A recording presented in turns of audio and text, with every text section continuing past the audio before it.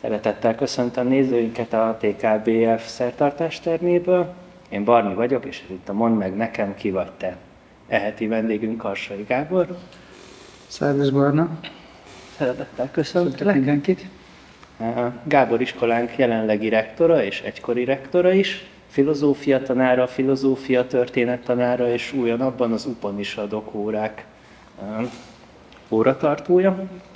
A műsor szokásához híven első kérdésem a gyerekkorodat illetni, hogyan telt ez az időszak így fiatal felnőtt korodig? Mesélnél nekünk el? Igen, köszönöm a kérdést, ez különösen érdekes nekem, mert mostanában elég sokat foglalkozom a gyerekkorom történéseivel. Kezdem ott, hogy hol születtem. Békés megyének a sarkában, a viharsarokban születtem, egy Batonya nevű kis településen, amit arról ismer mindenki, hogy Batonyától nemes medvesik.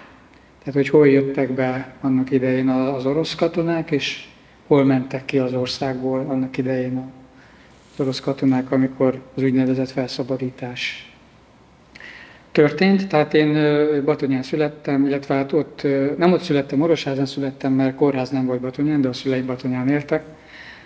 És ez mind a mai napig egy határmenti település Magyarország és Románia határán helyezkedik el. És hát én mindig azt szoktam mondani, hogy a viharsarok sarka, tehát ott a, az országnak a, a, a széle. Édesanyám ő könyvelőként dolgozott, édesapám pedig asztalosként dolgozott. Szerencsére mind a ketten élnek még, bár már idősek, de, de élnek.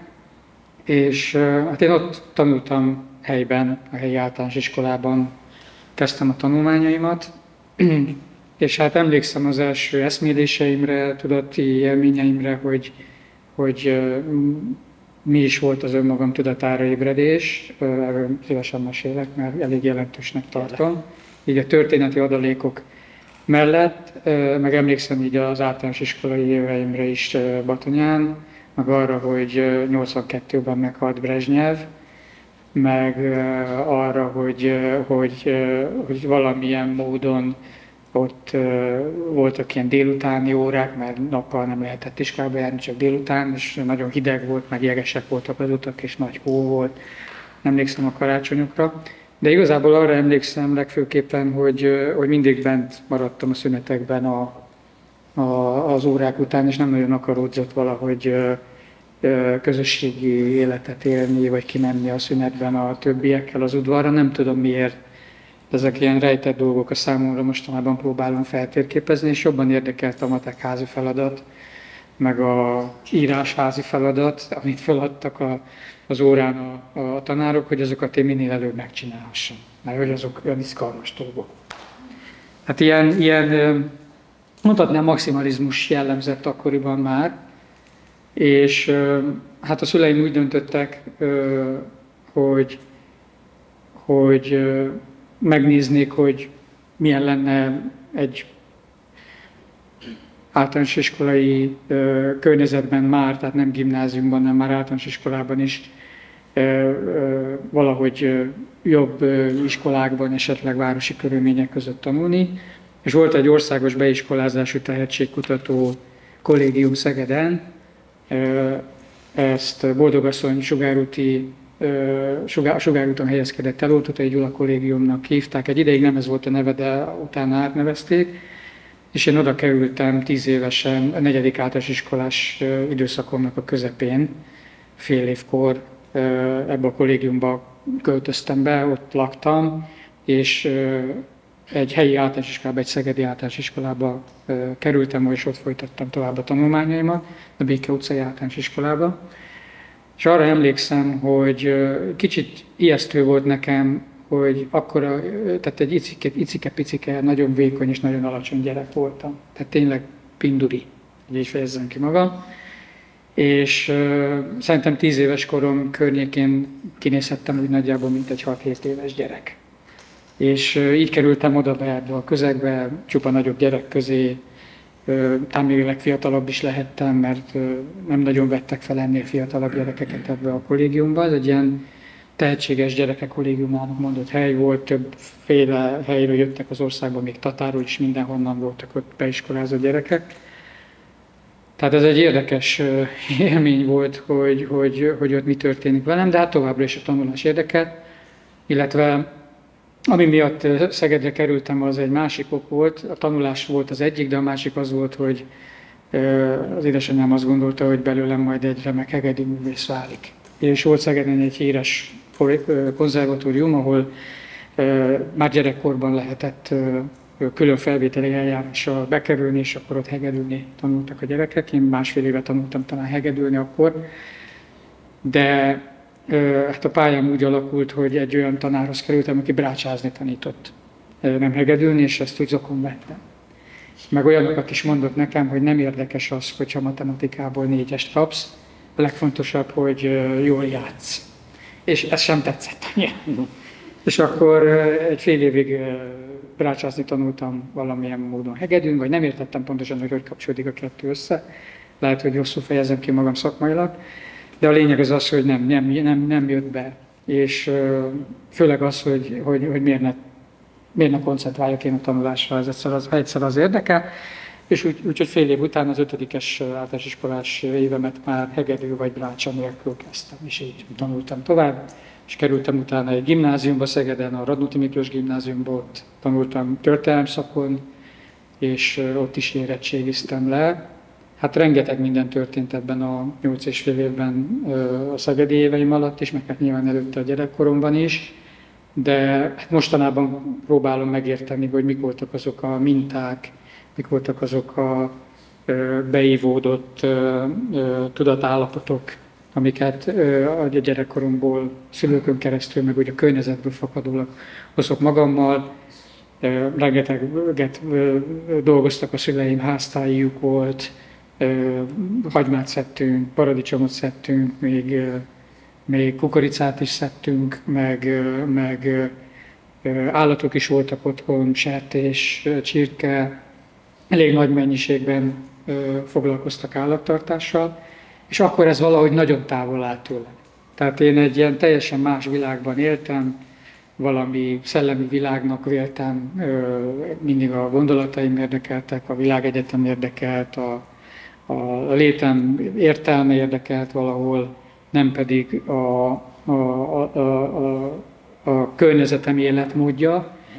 Viszont ma már erre kicsit máshogy gondolok, ma már elfog némi nosztalgia egyrészt a paraszti kultúra iránt, meg a falusi létmód iránt, meg ugye, ugye az egész kert, meg gazdálkodás témája iránt, úgyhogy öt évvel ezelőtt a családommal vettünk is egy felújítandó kis parasztházat a mecsekben, Kisújbányán, amit így pontosan az évek alatt felújítgattunk, és én oda járok elvonulni, oda járok így morfondírozni azon, hogy hogy lehet egy másfajta életmódot, fenntarthatóbb életmódot folytatni, mint amilyenben amúgy élünk városi emberként.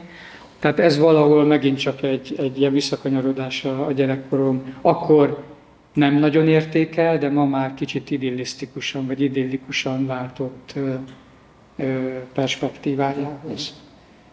Ugye említettem, hogy beszélek erről a tudatomra ébredési pillanatról, így hat évesen, és ez tulajdonképpen mind a mai napig meghatároz. Ez, ez, ez a magja, azt hiszem, a, a létemnek.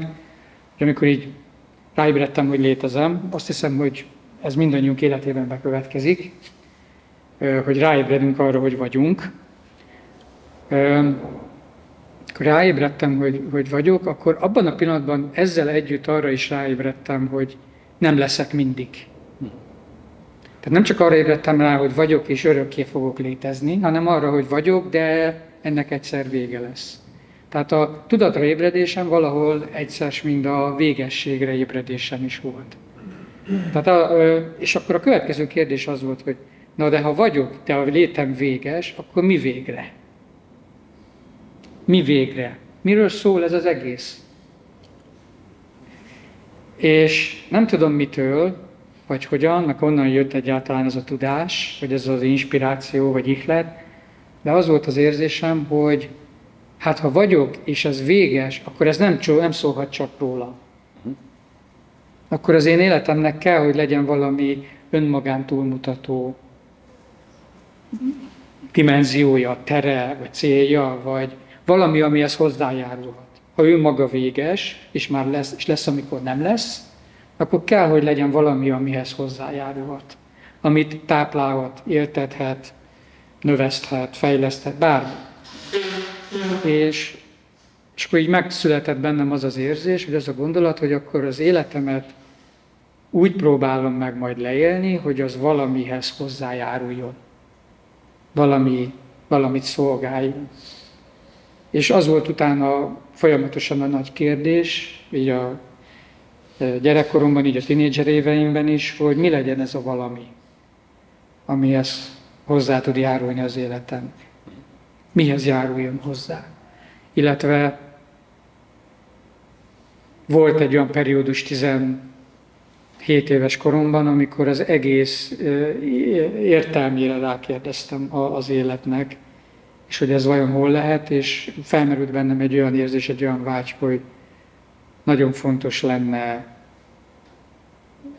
úgy élni, miközben hozzájárulunk valamihez, vagy hozzájárulok valamihez, hogy az igaz legyen. Uh-huh. Hogy az hiteles legyen, hogy az őszinte és valós legyen. És akkor így egy ideig elmerültem egy, egy keresztény vallásgyakorlati formában, egy idős házaspár Szegeden úgynevezett őskeresztény apostoli egyház nevű szervezethez tartozott, akiknek Kelebián volt az egyik központjuk, és annyira megihletett egy barátomon keresztül az ő szemléletmódjuk, meg látásmódjuk így a világról, hogy elkezdtem hozzájuk járni, így beszélgetni világról, Istenről, teremtésről, hitről, lélekről, és, és úgy éreztem, hogy ott a helyem.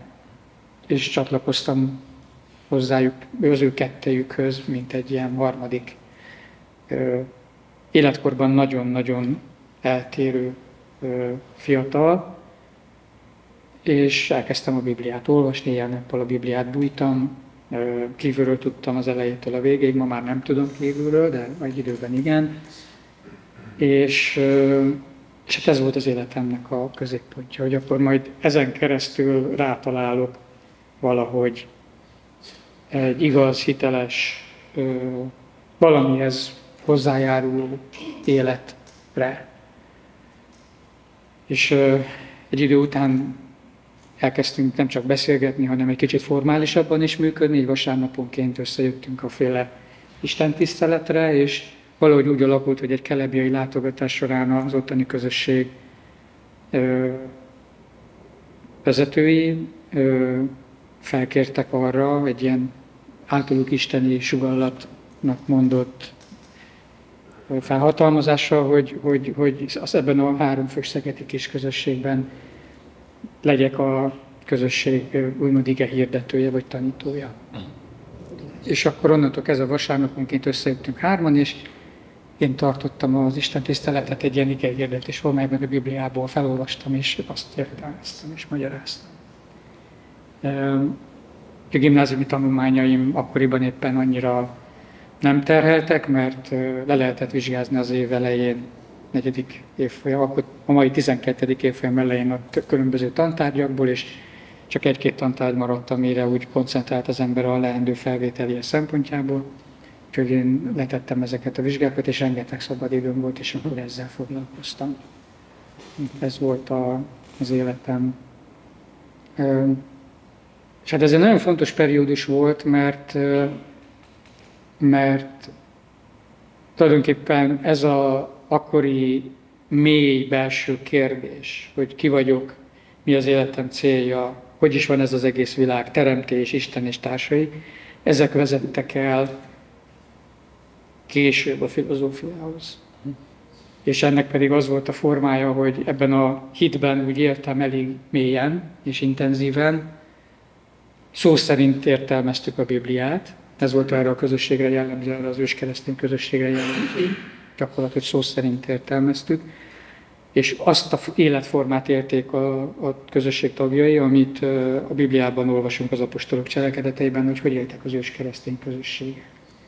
És volt bennük apostol hivatású, meg proféta hivatású tag is, tehát voltak apostolok, proféták és egyéb szereplők a szervezeti hierarchián belül, mint az ős keresztény közösségben, és ebben éltem én is, és számos barátom csatlakozott ez a közösséghez általam. Nem térítettem így direktben, de úgy érdeklődtek és elvittem magammal őket, és, és csatlakoztak, és ö, tudomásom szerint van köztük még mind a mai napig olyan, aki ennek a közösségnek a tagja azóta is. Én viszont meghasonlottam. Jó, azt látom, hogy itt aztán egy erős váltás az, hogy jogra jelentkeztél felsőoktatásba elsőre.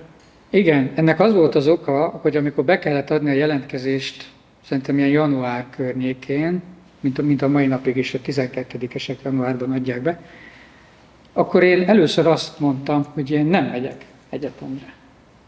Mert éppen ebben a hitben éltem elég intenzíven. És akkor mindenki kiakadt.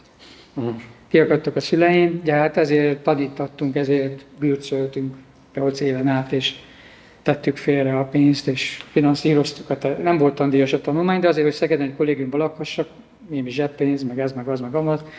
Szóval azért nyilván költséges volt. A tanáraim a, a, a középiskolában ugyanígy, hogy, tehát, hogy, tehát ugye színjeles tanuló voltam, a osztálynak a, az egyik él, él, él tanulója, hogy így fejezzem ki magam ezt a szokásomat megőriztem, és nem értették, hogy akkor hogy, hogy nem, mert bárhova fölvesznek. Tényleg bárhova fölvettek volna az akkori állapotok szerint. És akkor így levezettem magamnak, hogy a természettudomány tagadja Isten létét, ezért nem megyek természettudományos pályára. A bölcsészettudomány tagadja Isten létét, és csak önmagával van elfoglalva, ezért nem megyek bölcsészettudományra a mérnökség az manipulálja a világot, és nem, nem hagyja békén, akkor nem megyek mérnöknek. Mi marad? Hát marad a jó. Ez olyan ártalmatlan. Gondoltam én. Gondoltam én. Igen, két év múlva meggondoltad. Két év múlva meggondoltam magam, de, ne, de igazából nem két év múlva, hanem már azon a nyáron, amikor mentem egyetemre, elkezdtem a jogon a tanulmányomat, de addigra bekövetkezett az a meghasonlás, amit az előbb említettem, hogy Szó szerint vettük a Biblia szavait, és egy idő után felmerültek bennem kételyek, hogy vajon az a szó magyarul tényleg azt jelenti, amit eredetileg jelentett az a szó héberül az Ószövetségben, vagy jelentett bármilyen nyelven bármit, mert ugye a, a görög fordítás, aztán a latin fordítás, és kiderült, ahogy utána néztem, hogy több szó máshogy van fordítva, mint ahogy az eredetileg volt. És akkor most melyik Isten szava? A magyar? Vagy a latin? Vagy a görög? Vagy a az eredeti, melyik az Isten szava? És akkor ebbe bele, bele törtem, ebbe a hermeneutikai kérdésbe, ami utána már tudom, hogy filozófia mit jelent, beletörtem, illetve még egy dologba, hogy miért kell a nőnek hosszú hajat és a férfinek rövid hajat hordani kötelezően. Meg miért az van, hogy a férfi a nő feje? Mert ez van leírva a, az új szövetség különböző tanításában, az apostolok cselekedeteiben többek között. Nem egyenlőek vagyunk? És nem értettem ezeket a időbeli ö, több évezreden vagy évszázadon átívelő kulturális különbségeket, hogy ott van egy leírás arról, hogy milyennek kell lennie a társadalomnak meg a világnak, de mi ma nem úgy élünk, és úgy kéne élnünk, de miért? És ezt nem értettem. És akkor nem értettem, hogy Isten szava időben képes változni, vagy nem képes változni. Ha ez Isten szava, hogy 2000 évvel ezelőtt elhangzott, akkor nem képes változni. De hát akkor úgy kéne élnünk, ahogy akkor éltek az emberek, és e, e, ebbe így, így, így, belegondoltam, és azt, azt mondtam, hogy nem. Nem úgy kéne élni. De nem is úgy feltétlenül, hogy mi élünk, de, de, de hogy nem tudjuk hogyan, és hogy nem tudjuk, hogy honnan is van akkor Isten szava, meg melyik Isten szava ezek közül, az, a, a variációk közül. És akkor egy, egy nap, egy ilyen vasárnapi istentiszteleten megjelentem ugyanúgy, mint korábbi vasárnapokon, és fölálltam, hogy megszólaljak, hogy elkezdem a, a úgynevezett igehirdetést, és nem tudtam megszólalni. Álltam egy darabig, aztán visszajöttem a székembe, és úgy maradtam csendben, és egy órát csendben töltöttünk el a testvérekkel, akik addigra már többen lettek, és a végén azt mondtam, hogy nem, nincs már meg a kapcsolat Istennel. Létezik Isten, az az Isten, akiben én eddig hittem, az más, és nem az, akiben valószínűleg hinnem kell, máshogy kell hinnem benne, nem tudom, hogy kell hinnem benne, de nem tudok többet jönni. És nem jöttem többet. Így zajlott le az, hogy filozófus lett belőlem, mert utána meg az volt a következő kérdés, hogy ha nem ez az igazság, akkor mi? És azt a hibát, úgymond már nem akartam elkövetni, hogy valami végleges kész szöveghez fordulok, nem azt mondtam, hogy akkor nézzük meg, ha nem tudom, hogy kicsoda Isten és mi az ő szava, akkor nézzem meg, hogy az emberek mit gondoltak. Ugyanezekről a kérdésekről. És akkor elkezdtem Heideggert olvasni, meg elkezdtem uh, Platont olvasni, de elkezdtem azon a nyáron filozófiával foglalkozni, úgyhogy a jogi egyetemen kezdtem a tanulmányaimat, de már akkor a filozófia érdekelt, hogy egy év múlva a jog mellett beiratkoztam Szegeden a filozófia szakra is, meg a görög szakra is, mert a hermeneutikai probléma megmaradt, hogy jó, akkor én Platont akarok olvasni, de nem a magyar fordítású Platont, mert hogy az nem, hanem az eredeti görögöt, úgyhogy akkor tanuljak meg hozzá görögül, meg akkor a Szenekához tanuljak meg latinul. És úgyhogy beiratkoztam a filozófia mellett a görög, meg a latin szakra is, és elvégeztem őket, és megtanultam görögül, meg latinul, hogy ezeket a szövegeket eredetibe olvashassam. A gyerekkori lelkesedés a tanulás irányába megmaradt. Megmaradt, igen. igen. Három egyetem egyszerre, és akkor még mellette még buddhista tanító szakon is tanultál, 95-97 Igen. Igen. Ez már négy, igen, ez... négy felsőoktatásba vettél Igen. Ezt? Igen. Nem voltam normális. Most sem vagyok az. És ez, ez úgy történt, hogy, hogy csak a tényeket mondom tényleg. Tehát annyira belelendültem a filozófia meg a görög-latin tanulásába, hogy másfél év alatt elvégeztem a Szegedi Filozófia szak teljes kurikulumát. És, és 60 kredit per fél évben? Hát fölvettem minden kurzust, amit csak lehetett. Hmm. És, és úgy másfél év alatt végigmentem rajta, és akkor ott maradtam, hogy most akkor mi van. És egy picit úgy, úgy, úgy, úgy, úgy meg is jelent bennem egy hiányérzet, hogy valami ebből hiányzik. Ebből a történetből, amit tanulunk nyugati filozófiában. És, és nem tudtam pontosan megfogalmazni, hogy mi hiányzott, de éreztem, hogy valami hiányzik. Valami személyes, szubjektív, personális nézőpont, miközben persze ott volt a fenomenológia, meg ott volt az egzisztencializmus, tehát tudtam kapcsolódni Husserlhez, meg tudtam kapcsolódni Sartrehoz, meg a, meg a 20. századi filozófiai irányzatok közül ezekhez a personálisabb, személyesebb dimenziókhoz, de valahogy a tapasztalásnak a, a, a, a, és a tudat, a, tudat, a tudat működésének a belső megértése, az ebből a nagyon személyes belső nézőpontban, amivel egyénileg rendelkezünk, hiányzott. És bele, belebotlottam, mert rengeteg könyvet vásároltam, akkoriban minden pénzemet arra költöttem, hogy antikváriumokba járok, meg könyvesboltokba járok, és minden könyvet megveszek. És belebotlottam a Buddha beszédeibe. Meg a Farkas Lőrinc Imre kiadónak az akkor megjelent különböző könyveiben, amit az itteni főiskolai tanárok ö, adtak, tanárok műveiből adott ki. És ö, beiratkoztam egy kínai filozófia szemináriumra ott Szegeden, amit Hamar Imre tanított. Ma az ELTE Orientalisztikai Intézetének a vezetője, illetve egyik rektorhelyettese az ELTE-nek, és akkoriban a főiskolán tanár volt, itt tanított, és beiratkoztam hozzá, és kínaiul is meg akartam tanulni, hogy a kínai szöveget, Lao Tse-t és Tao Te Kinget kínaiul olvassam, elkezdtem klasszikus kínaiul tanulni nála, és ő mondta, hogy ha téged ez a dolog ilyen buddhizmus és társa érdekelnek, akkor itt van ez a főiskola. És hát olyan boldog voltam, de jó ég, van egy ilyen hely az országban, ahol buddhizmussal, mert addigra már volt egy kis sejtésem, hogy mi a buddhizmus, lehet foglalkozni, hogy azon nyomban beiratkoztam, jelentkeztem, és felvételiztem a főiskolára, és felvettek. A Takács Laci, az akkor még Agós Tamás tanított, illetve Fehér Judit, aki sajnos elmúlt azóta ő volt a három felvételiztető a bizottságban és Szegeden tulajdonképpen egyéni tanrendel fejeztem be a görögöt meg a latint. A filozófiát azért nem tudtam befejezni, mert másfél év volt az összes eltöltött idő, és másfél évre nem adnak diplomát. Hiába végzed el a teljes képzést, másfél évre nem adnak diplomát, de mivel minden kurzus lehallgattál, már több kurzus nem tudsz lehallgatni, hogy még másfél évig a hallgatója legyél az intézménynek, ezért nem kaphattam diplomát, úgyhogy azt találtam ki, azt nem, nem, azt találtam ki, hogy, hogy el, akkor én engem a buddhizmus érdekel, itt elkezdek tanulni, de mikor ide megjöttem a főiskolára, majd elmondom ezt az élményemet is, hogy 95-ben ez milyen volt, ö, akkor meg azt találtam, hogy mindenki lebeg. Egy ilyen lebegős világ volt, akkoriban még nem olyan ö, gyakorlós, mint ma. Mindenki így el volt így a, így a tudatában, meg a, meg a világában, így, így lebegett, és óriási elképzeléseket fogalmazott meg a buddhizmusról, meg a világról, meg mindenről. És olyan fura érzés volt, hogy, hogy itt lebegni kell. És én meg nem akartam lebegni annyira, kevésbé akartam lebegni, úgyhogy úgy döntöttem, hogy, hogy akkor visszamegyek az egyetemre, de már nem Szegeden, hanem az eltén, és akkor újra csináltam a filozófia szakot az eltén, tehát végighallgattam az összes kurzust az eltén előről, de mellé még felvettem az indológiát, mert addigra már a buddhista szövegeket is eredetiben akartam olvasni, úgyhogy megtanultam szanszkritul, az eltén, megtanul, mivel kötelező volt a szanszkrit mellett az indológia szakon a hindi, ezért hindi is. És akkor így, így, így zajlott a történet, de a főiskolát nem végeztem el.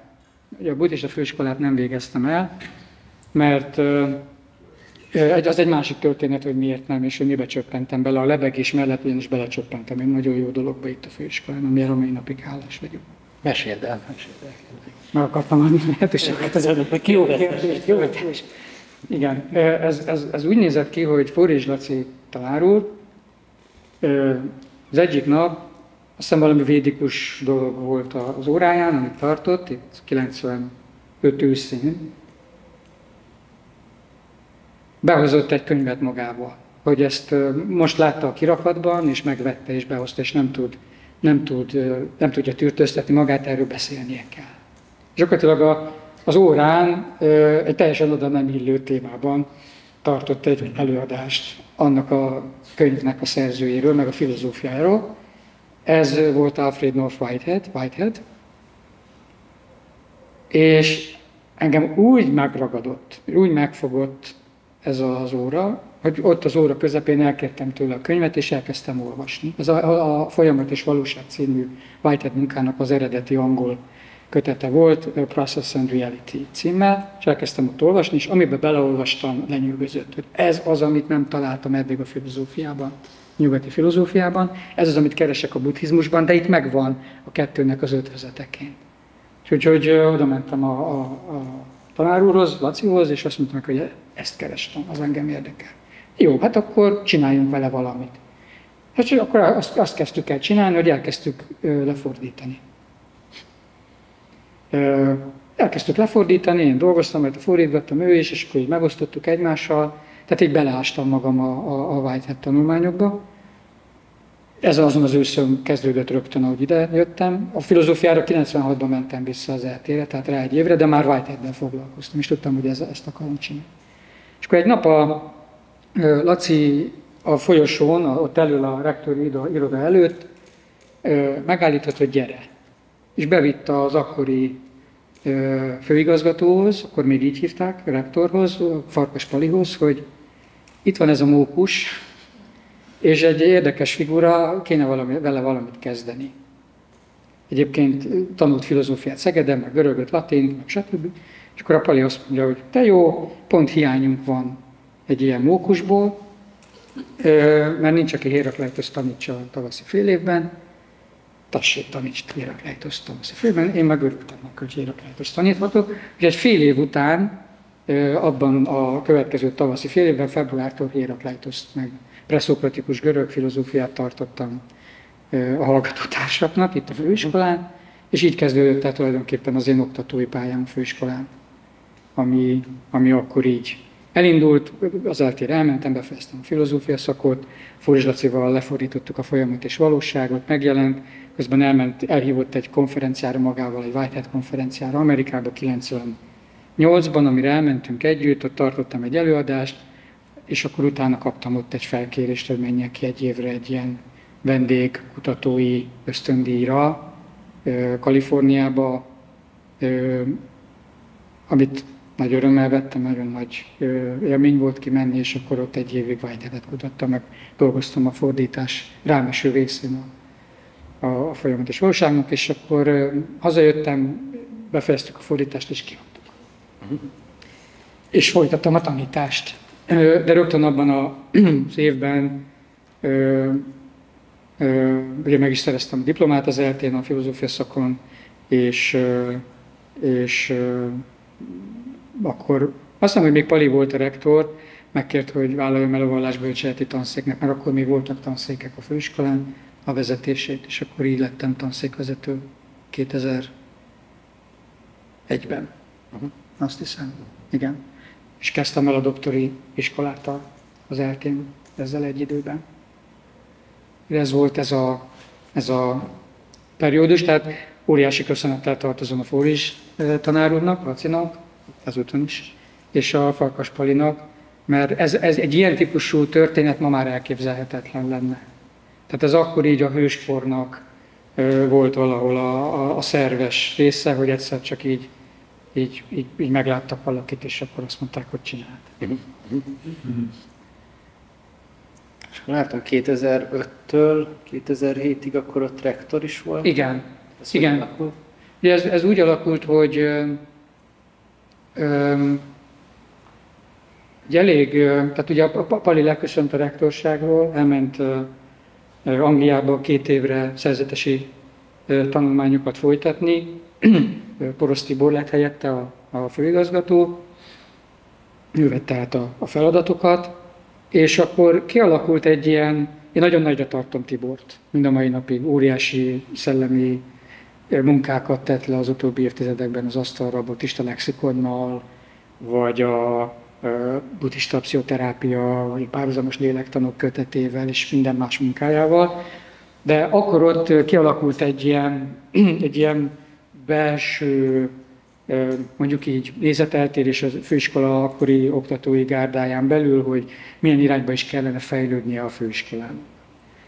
És valami miatt kaptam felkérést, hogy vállaljak szerepet a főiskolai tanácsban a, a, a, a tanszék vezetése mellett, és akkor a főiskolai tanácsban is ki, hát ki, ki lehetett mondani dolgokat, hogy mit hogy látunk, mit hogy gondolunk, és, és ö, több kollega megkeresett 2005-ben, illetve már négyben előtte, amikor a következő választásra sor került, akkor talán még négy évente választ, igen, most is négy évente választják a rektorokat, hogy mi lenne, ha, ha, ha elindulnék ezzel a koncepcióval, meg ezzel az alternatívnak mondott nézőponttal, amit képviseltem a különböző üléseken. És akkor három jelölt volt. Indult a Tibor újra, indult az Agócs Tamás, és indultam én. És hát végül a szenátus a beadott program alapján, meg az előadott elképzelések alapján nagyon nagy többséggel engem választott meg akkor rektornak, és így lettem 2005-ben rektor a főiskolának. És mik voltak akkor ezek az elképzelések? Három dolog volt. Az egyik, hogy egy, egy demokratikus intézményvezetés, ahol minden érintett minden szituációban elmondhatja a saját véleményét, tehát egy decentralizált, közös döntéshozatali eljáráson alapuló intézményvezetés, tehát egy, egy más, más vezetői kultúra mint ami addig volt jellemző. Én híve voltam a, a képzés, már akkor lehetett tudni, hogy bevezetik a bolonyai rendszert Magyarországon. És mi egy négy éves főiskolai szintű kép, képzéssel és diplomával működtünk akkor. De ezt a négy éves képzést, ha megtartjuk, és nem állunk át a bolonyai rendszerre, akkor egy BA szintű képzésnek ismerte volna el az új rendszer. És mi szeret, én azt képzeltem, vagy azt gondoltam, hogy nagyon jó lenne a tehetségesebb, meg tudományosabb irányban elkötelezett hallgatóink számára egy egyetemi szintű végzettséget is biztosítani, ami az MA tulajdonképpen. Tehát az MA az, ami az egyetemi diplomával legyen értékű, és aztán persze az egyetemek is átálltak a BAMA rendszerre, erre a két osztatú rendszer, ők is kibocsáttak egy BA szintet, meg egy MA-t. Tehát föloldódott a főiskola és az egyetemek közötti különbség, mind a kettőnek lehetősége volt BA és MA szinten is kibocsátani diplomát. De én úgy gondoltam, hogy ha mi leszűkítjük a négy éves képzésünket egy három éves BA-ra, akkor elveszítünk értékes tartalmakat az egyik oldalon, másrészt meg nem tudunk tehetséggondozni, nem tudjuk a majdani jövőbeli utánpótlását biztosítani a tanári karnak, mert az szükség van az MA-ra, meg a doktorira. És hát ezt, ezt akkor a Tibor nem így gondolta, az akkori rektor, Tamás meg nagyon mást gondolt, és tulajdonképpen ez a nézőpont, hogy álljunk be a bolonyai rendszerbe, és hozzuk létre a kétszintű képzést, BAMA képzést. Ezt képviseltem egyedül én a jelöltek közül, és ez nyert többségi elfogadást. És meg is valósítottuk, ahogy elkezdtem a, a, a hivatalomat, vagy a munkámat, rögtön nekiálltunk egy új akkreditációnak, ami akkor volt esedékes, ez volt a főiskola történetének a második akkreditációja, ami, ami egy nagyszabású, elég, elég ambiciózus projektként lett megvalósítva, BA, MA, külön specializációk, szakirányok, nyelvek, tibeti, páli, szanszkrit, japán, kínai, kultúrtörténeti specializációk és nyelvi specializációk, budó, egy ilyen harcművészeti specializáció, akkor ért el a főiskola a legmagasabb hallgatói létszámát a története során, ennek nyomán, és és mi voltunk az országban az első olyan felsőoktatási intézmény, főiskola vagy egyetem, ami megkapta a MAP-tól, a Magyar Akkreditációs Bizottságtól az új típusú bolonyai rendszerű BAMA képzésre, mind a két képzési szintre a szak létesítési és a szak indítási engedélyt is. Azaz nem csak létesítettük a szakot, és majd valamikor elindítjuk, hanem el is indíthattuk azon nyomban az új típusú képzést, az a buddhista tanító szak volt az országban. Képzeljétek el!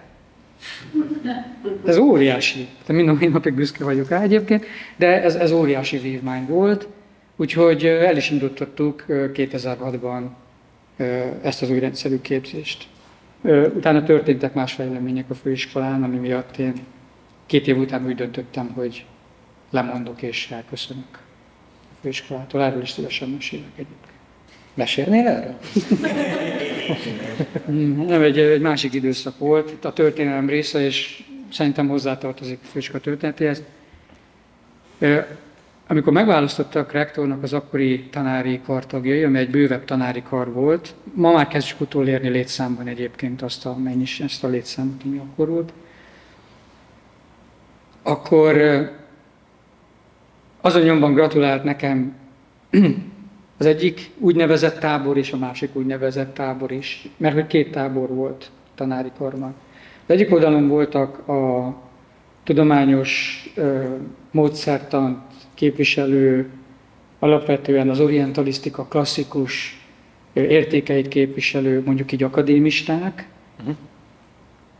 és a másik oldalon pedig ö, voltak a, a, főleg az alapítók köréből kikerülő, a buddhizmus gyakorlati, meditációs, szemléleti ö, aspektusát képviselő gyakorló oktatók. És ez a két tábor akkor, mondom akkor, késhegyre menő vitát folytatott egymással arról, hogy melyik domináljon.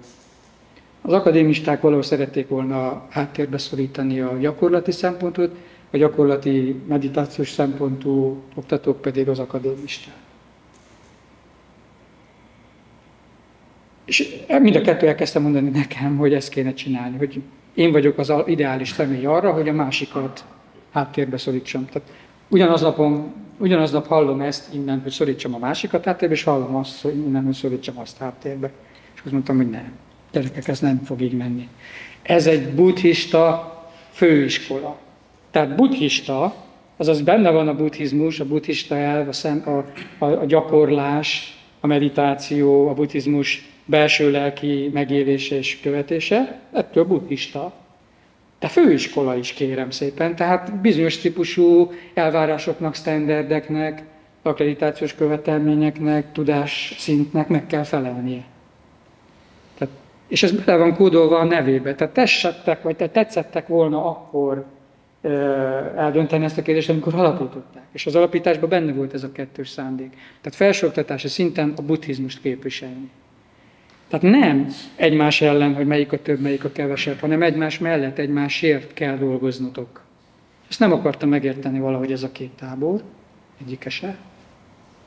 És amikor én ennek ellenálltam, hogy nem, meg ellenálltam, hogy nem, tessék együttműködni, akkor a főiskola különböző fórumain, testületi ülésein elkezdett a két fél tőlem függetlenül egymással hadakozni, és hát ez a hadakozás az elég komoly, ö, mit mondjak, vitákhoz, meg, meg, meg veszekedésekhez is vezetett egy, egymás irányába, és akkor én azt mondtam, hogy köszönöm szépen, ebből nekem elég.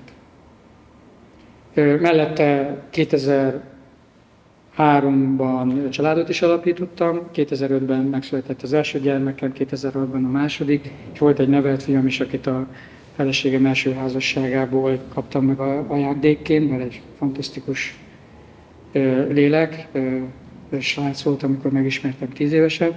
Tehát elkezdtek más szempontok is fontosak lenni az életemben, mint a, mint a viaskodás, tehát a család, a család nevelése, meg, meg a gyermekek születése. És egy kicsit őszintén szólva, valahol a filozófiának ebbe a tisztán akadémikus formájába is egy filozófiai felismerésen keresztül bele törtem, hogy így fejezzek ki magam. Egy Levinas nevű francia országban munkálkodó litván származású fenomenológus munkássága nyomán elkezdtek jobban érdekelni a, a megvalósítási, alkalmazási típusú filozófiák és megközelítések, mondhatnám azt, hogy az etika, de az etika mint, nem mint tudomány, hanem mint létmód. Visszakanyarodva ahhoz a szemponthoz, amit mondtam, hogy hogy lehet autentikusnak, őszintének, igaznak lenni. És, és ez az igaznak lenni, ez megjelent, mint egy ilyen nagy hívószó, de nem csak abban az értelemben, hogy hogy tudok saját tudatomban önmagamon belül valamit hitelesen képviselni és gondolni, hanem hogy hogy lehet ezt megvalósítani. Nem csak egyéni, hanem akár társadalmi szinten is, társadalmi léptékekben is. És akkor így elkezdtek ilyen alternatív menedzsment filozófiák, meg társadalomfilozófiák érdekelni, és ebbe a viaskodásba egyrészt így beleuntam, ami zajlott házon belül, másrészt pedig elkezdett jobban érdekelni a társadalomnak a valósága, és azon belül is a szervezetek működése és a szervezetek vezetése, és kaptam egy megkeresést egy Magyarországon élő, működő filantróp üzletembertől, Kovács Gábortól, hogy 2008-ban, hogy segítsek neki egy ilyen szemléletű vállalkozási holdingot vezetni, mint, mint vezérigazgató.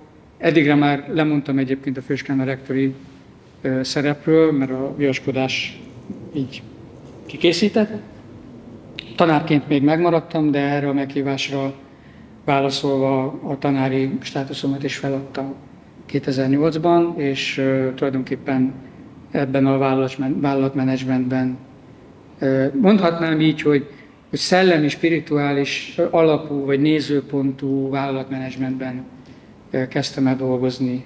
Ez a World Servers az, ez egyik leágazása volt ennek a tevékenységnek. A másik a Kogárt Holding volt itt Magyarországon, ami összefogta a Kogárt ház, az akkori Kogárt Galéria, Kogárt ház étterem és rendezvényház, illetve egy Sopronbán falván felújított egykori Pálos Karmelita Kolostornak a, a működtetését, mint elvonulási központ. A Nemzetközi Elvonulási Központ működtetését, koncepciójának a megalkotását és a működtetésének megszervezését működik a mai napig. 2008 környéken kezdődött a felújítás, amikor én csatlakoztam ez a szervezethez. 2010 végére, 11 elejére készült el két év alatt, Norvég alap támogatta, és 11 márciusában költöztem le a családdal Sopronba, hogy közvetlenül a, a működtetését és a nemzetközi beágyazását ezen a svájci alapítványon keresztül megszervezzem, és akkor, akkor indult be, 10 őszén indult be az üzemeltetés, én 11 márciusában költöztem le a családosokba. A mai napig működik, Kovács Gábor később eladta ezt a létesítményt, és a magyar állam vásárolta meg, és az Eszterházi ö, ö, palota, a Fertődi Eszterházi ö, palota fenntartói, állami szereplő, állami oldalú fenntartói működtetik most a Kolostort. És akkor vannak ott elvonulás? Nem elvonulási központként működik, illetve részben talán úgy is működik, nem, nem tudom pontosan, milyen programok zajlanak, de a kormány rendszeresen szokta ott tartani a kihelyezett üléseit. Mivel hogy állami fennhatóság alatt van ma, és egy rendkívül illusztris hely, gyönyörű lett a felújítás, nagyon mély spirituális hely, érződik rajta a régi, régi pálos, régi karmait a szellemiség, ugye ez a mai kormánypolitikához passzoló kulturális hátterű intézmény, és minden, mindennek megfelel, ami egy ilyen zárt, 20-25 főt, vagy akár 30 főt igénylő közegnek, csoportnak igénye lehet. Úgyhogy a médiában időnként feltűnik, hogy oda vonul el a kormány uh-huh. üléseket tartani, de, de hát ott, ott, ott, ott, ott, ott egy nagyon, nagyon intenzív beindítás, kiállításokat szerveztünk, elvonulásokat szerveztünk, mentem szerte Európába különböző ilyen rendezvényekre, és hoztam ide a, a, a programokat, elég, elég jól működött, és fel is indult a működése szépen. Láttam, aztán további szervezetekben is közreműködtél, van itt ez a Spirit of Humanity Forum, Igen. ennek igazgatója voltál, meg Education for Peace Foundation, Igen. ennek a főtitkára. Igen. Rövid, röviden mesélni. Igen, meg egy tajvani kolostor szervezet Igen, is utána.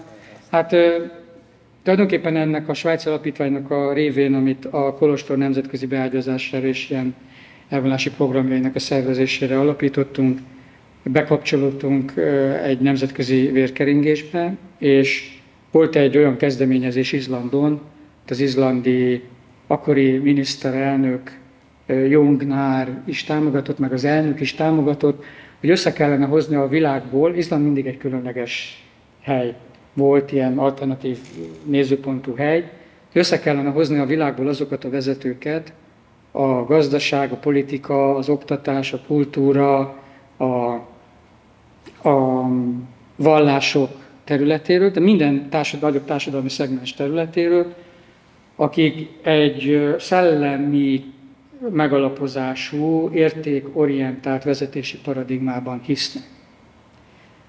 Ezt ők akkor úgy képzelték el, hogy mi, mi valamiféle alternatív Davos. De Davosban minden évben összejönnek a világ ö, nagyhatalmú vezetői, és megtárgyalják az oktás kríziseket, válságokat, hogy azokat hogy kéne megoldani, aztán megy tovább nagyjából minden ugyanúgy, mint addig. És akkor három nemzetközi szervezet úgy gondolt, hogy létre, létre kellene hozni ennek az alternatíváját, csak ezt értékalapú, spirituális szempontú megközelítésekre kellene helyezni. És ehhez a mi Svájci Alapítványunk is csatlakozott társszervezőként, rögtön az első fórum megszervezésére 2012. szeptemberében azt hiszem akkor került sor, és részt vettünk ezen, és akkor utána kialakult egy kisebb válság, hogy hogyan tovább. Egy jó sikerült rendezvény volt, kb. 100-120 ilyen vezető jött össze a világból, de kialakult egy ilyen belső struktúrális válság, hogy hogy kéne ezt tovább folytatni. És ezt a kiértékelő meetinget a szervezők, az, az, az különböző szervezetek, akik összejöttek, hogy egy náluknál nagyobbat hozzanak létre, ezt sikerült Sopronba hozni a Kolostorba. És akkor én, mint házigazda, cerebráltam tulajdonképpen ezt a folyamatot, hogy mi legyen tovább. Vagy mondjam, mondom, hogy facilitáltam ezt a folyamatot, hogy mi legyen tovább. És az egyik kulcskérdés az volt, hogy nem volt vezetőre. Ö, és akkor tulajdonképpen a meeting végére felkértek, hogy legyek én a vezetője, már ilyen módon tudom facilitálni ezt a folyamatot, és akkor ezt elvállaltam.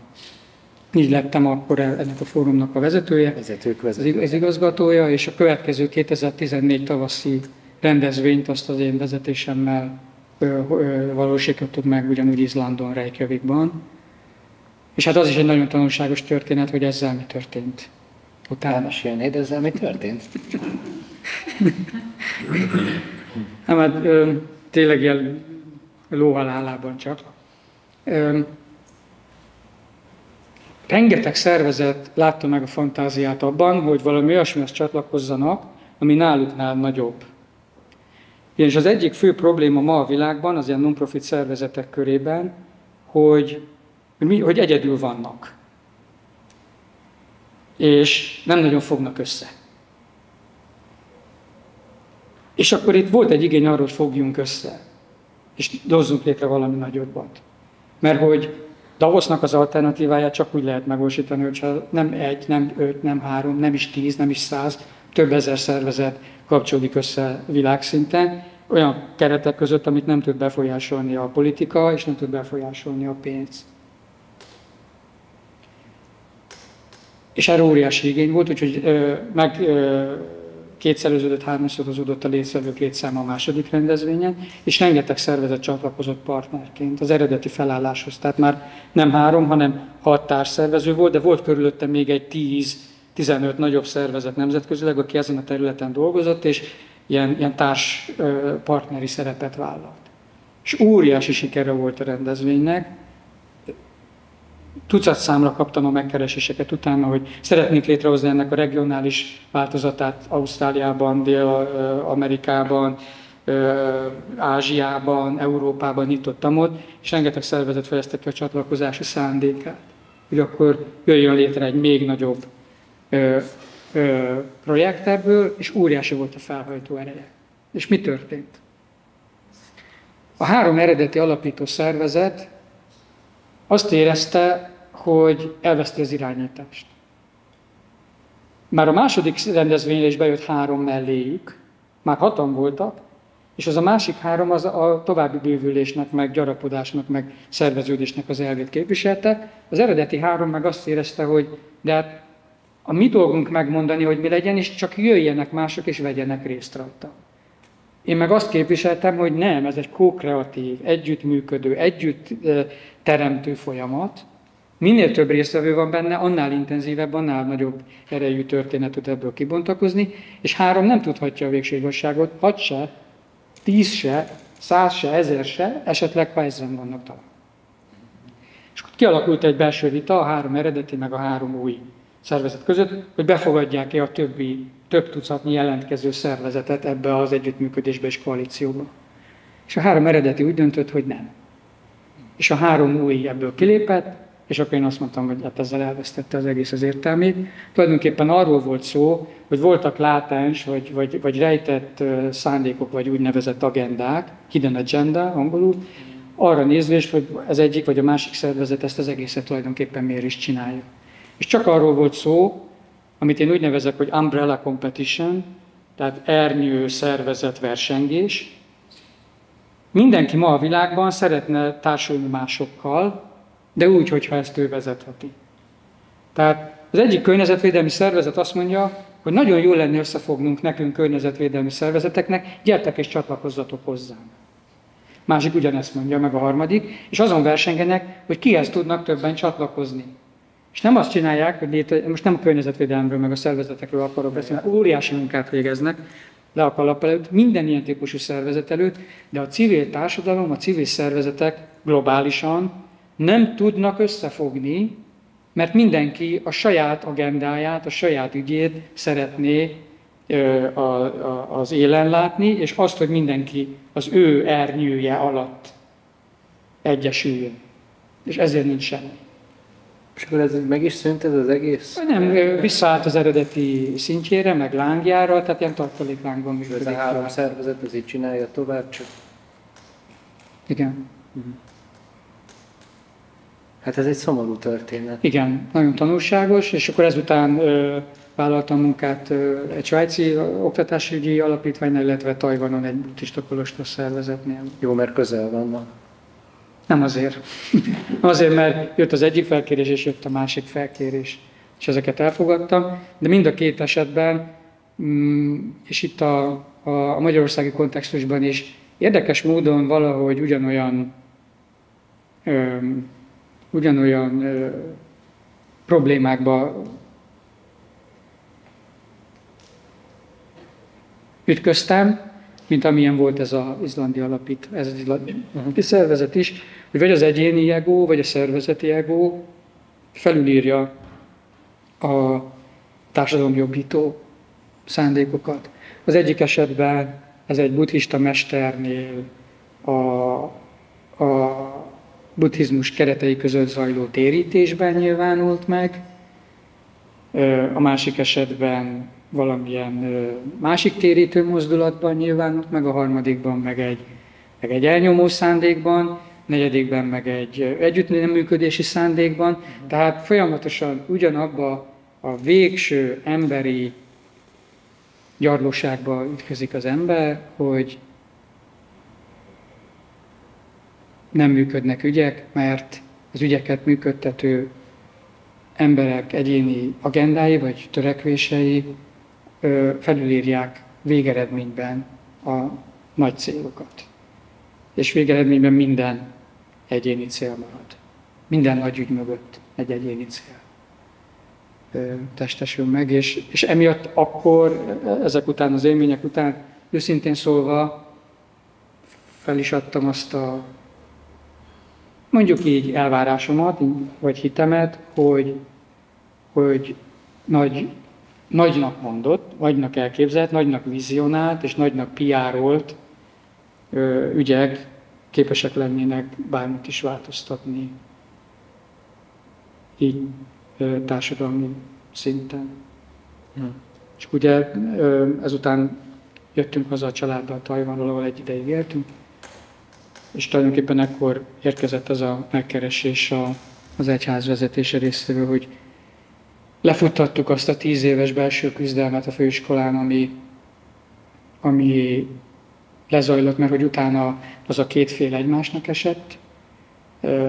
Az egyik kirúgta a másikat, a másik az egyiket. Végül nyilvánvalóan az alapítói szándék győzött helyesen, tehát a, a buddhista elvek képviselete, meg a, meg a, meg a gyakorlás, meditáció és, és, és ez a fajta orientáltság, miközben persze a tudományosság elvei nem sérülnek és nincsenek háttérbe szorítva.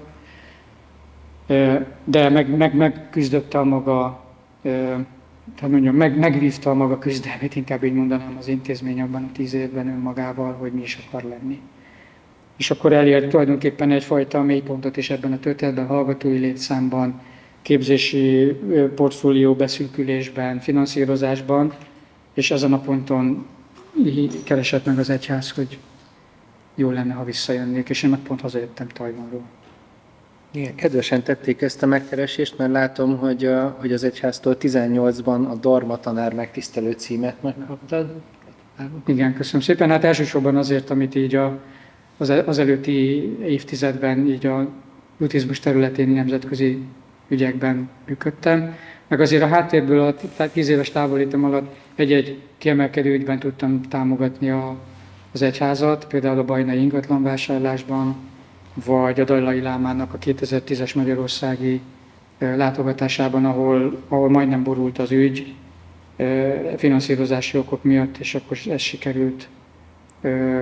Akkor egyébként Kovács Gábor jó voltából egy ilyen támogatói formában megvalósítani, és akkor annak a lemenedzselése, meg a Szervező Bizottsággal történő egyeztetés kulcsmomentum volt, amikor az őszentségének jött a Genfi képviselője, hogy lesz-e ez a rendezvény, vagy nem lesz. Végül lett, és óriási sikere volt. Tehát két napon át 20, 25 ezer ember volt a paplászlóban. Ott fantasztikus élmény volt őszentségével. Tehát ilyen, ilyen módon azért szervezői erővel, vagy, vagy, vagy stratégiai látásmóddal tudtam segíteni azokban az években is, amikor szükség volt rá. És akkor 2019 óta ismét a rektorunk vagy? Igen. Mai napig erről az időszakról mesélnél egy kicsit? Igen, hát egy elég nehéz helyzetet örököltem meg, ezt tudom mondani. Akkreditáció előtt álltunk. Februárban vettem át a stafétabotot, és május végén kellett beadnunk az önértékelésünket.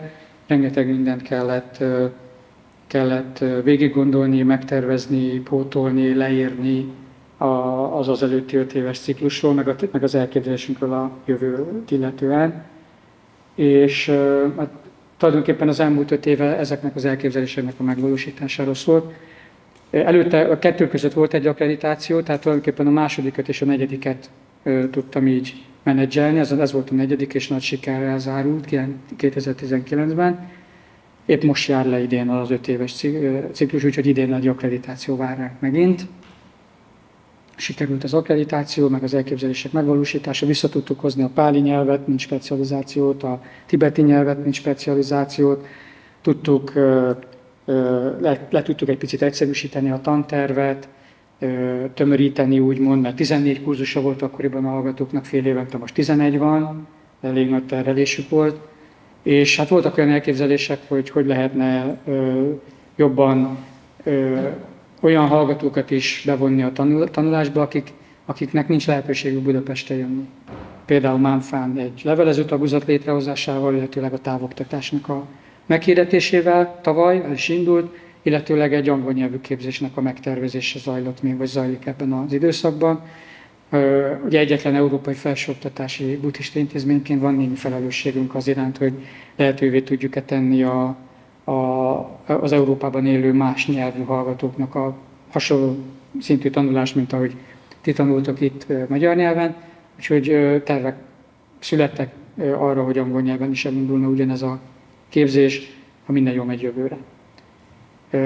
Elég nagy a nyomás rajtunk, így évről évre a fejlődés miatt. A hallgatói létszám az pont most készítettem el az idei évi rektori, az előző évvel rektori beszámolót küldtük, küldtük be a minisztériumnak tegnap. 204 fő volt 2017-ben, és tavaly 358 fő volt ősszel, tehát majdnem 70%-kal több most hallgató, mint volt a mélyponton. Ö, több a nappal is hallgatunk, 10-ről 40 közelébe, 30 közelébe sikerült feltornászni. Az esti tagozat az folyamatosan 70 fő körül van, van Mánfán, van távoktatásunk, és a mesterképzést is sikerült újraindítani, azon most 8 estés hallgatunk van az új első évfolyamon például. Tehát azt tudom mondani, hogy, hogy, hogy sikerült visszaépíteni a főiskolának azt a, azt a jellegét, és azt a közösségét, és azt a közegét, ami volt a, a 2000-es évek közepén, végén. Illetőleg hát meg tudtunk birkózni még a koronaválsággal közben, tehát hogy nem bele törtünk, hanem, hanem a különböző kényszerek miatt online oktatás, hibrid oktatást tudtunk olyan szemléletet fejleszteni, ami lehetővé tette a távoktatás elindítását tavaly össze. Tehát ezek zajlottak ebben az időszakban. És hát közben, menet közben még egy európai szervezetnek a, a vezetésére is felkértek, úgyhogy most párhuzamosan dolgozom ismét a főiskola mellett a Mind and Life Europe-nak a, az igazgatója vagyok 2010, nem 21 óta, tehát ez a negyedik éven ebben a szerepkörben. Úgy látom 20 óta vagy az igazgatója. Nem, 21 januárja óta. 21 január. És ez miről szól ez a szervezet? A 80-as években a Dalai Láma elég ö, ö, mozgékony életet élt, mozgott szerte a világban, egyetemeken, parlamentekben szólalt fel, tudományos konferenciákra járt, és nagyon érdekelte, hogy hogy lehet a buddhizmus nézőpontját, tanításait, szemléletét a tudomány által feltett kérdésekkel párhuzamba vonni, vagy egyáltalán egy, egy dialógusba, egy párbeszédbe elegyedni, és részt vett 83-ban egy rendezvényen Ausztriában, egy Altbach nevű helyen, ahol több évtizedre kitekintő ilyen speciális konferencia sorozat jött létre, ott voltak elég érdekes figurák, Bohm, ott volt a Fritjof Capra, ott volt, tehát akik a tudománynak a perifériáján, bár Bohm nem a perifériájáról jött, de úgy helyezkedtek el, hogy érdeklődtek a buddhizmus iránt.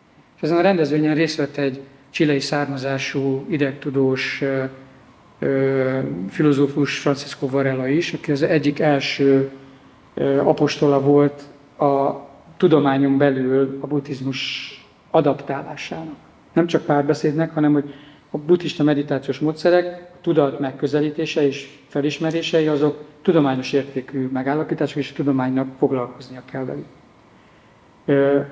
És ők ezen a 83-as rendezvényen találkoztak, és olyan tímja jött létre köztük, hogy megszerveztek 87-ben a Dalai Láma székhelyén, Daramszalában egy dialógust. Ez volt, és azt a nevet adták ennek a dialógusnak, hogy Mind and Life hogy vizsgáljuk a tudomány és a buddhizmus nézőpontjából azt, hogy mi is az elme, hogy működik a tudat, agykutatás és buddhista filozófia együtt, és, hogy, hogy, és az életnek mik az alapvető principiumai. Tehát volt benne intellektudomány, meg biológia a buddhizmus mellett. Ekkor jöttek létre azok a, a nagyon furcsa fotók, amikor buddhista szerzetesek fejére raktak mindenféle ilyen tappancsokat, ugye LKG készüléket és egyebeket, hogy mérjék az ő, ő, ő agyhullámaikat, később efemeri, illetve emeri készülékeket, hogy mérjék az ő agyhullámaikat, hogy milyen meditatív állapotban az agy szerkezete, mi következik be az agyban. Hát ebből aztán rengeteg felismerés származott, tudományos felfedezés, például az, az, az úgynevezett neuroplaszticitás tétele, tehát hogy az agyunk egy rugalmas entitás, ami tetszőlegesen ö, alakítható. A szándék, az általunk megfogalmazott célok, attitűdök, meg egyáltalán a tudatunkkal művelt ö, gyakorlás által. Tehát az agy nem egy kész és végleges struktúra, ami eleve kódolt és rögzíti azt, hogy mi mire vagyunk képesek az életben, hanem tetszés szerint befolyásolható, alakítható egy rugalmas képződmény. El tudjuk tolni az agresszió irányába, a gyűlölet irányába, a gyilkolás irányába, de ugyanígy el tudjuk tolni a teljes berendezkedését és működési potenciáját, az együttműködés, az együttérzés, a mondjuk is szeretet, a, a, a, a jó indulat, a mettá, karuná, muditá, nem ártás, együttérzés irányába. És ez óriási felfedezés volt, ez tudományos felfedezés lett, hogy az agy, tehát az, hogy mi milyen attitűddel és milyen társas viszonyrendszerrel élünk ezen a bolygón, az rajtunk múlik. Nem pedig egy velünk született végleges állapot. Tehát az a régi vita is eldőlni látszik, hogy most az ember embernek farkas vele született módon, vagy az ember alapvetően jó. Egyik sem. Az ember olyan, amilyenné teszi magát. Egy olyan lény, egyénileg is, meg közösségileg is, amilyenné alakítja magát. Egy önalakító, öndefiniáló, önmeghatározó faj.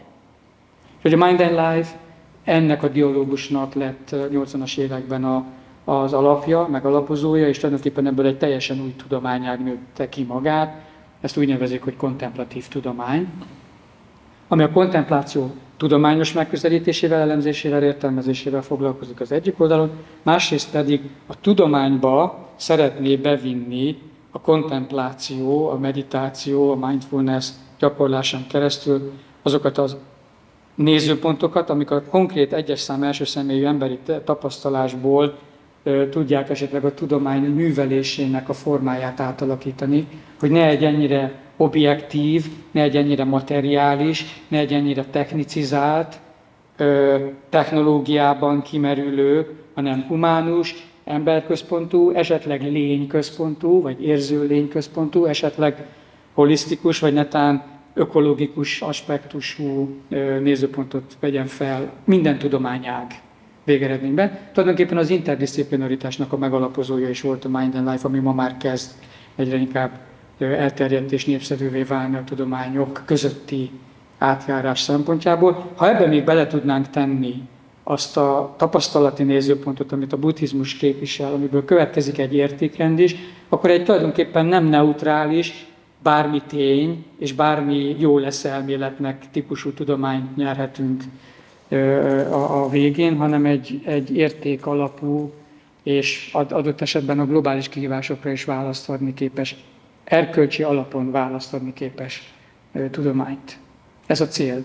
Tulajdonképpen ez volt Francisco Varának és a Dalai Lámának a célja, amikor ezt a párbeszédet létrehozta. Szerintem ezek nagyon szép záró gondolatok. Letelt az időnk, úgyhogy szeretném megköszönni. Én is köszönöm szépen. Barna, a diákság nevében. Köszönöm mindannyiótoknak. Köszönöm, hogy itt vagy nekünk, és vezeted az iskolát, és tanítasz minket. Hát én köszönöm, hogy itt vagyunk veletek. Köszönöm szépen. Nézőinknek üzenném, hogyha van esetleg kérdésetek a rektor úrhoz, akkor a kommentek között feltehetitek. Aki nem az iskolák tanulója, és szeretne többet megtudni a buddhizmusról, nyugodtan nézze meg a további YouTube felvételeket, esetleg látogasson be iskolánkba, üljön be gyakorolni, vagy hallgasson meg egy előadást. Köszönöm mindenkinek a figyelmet, a darma legyen veletek.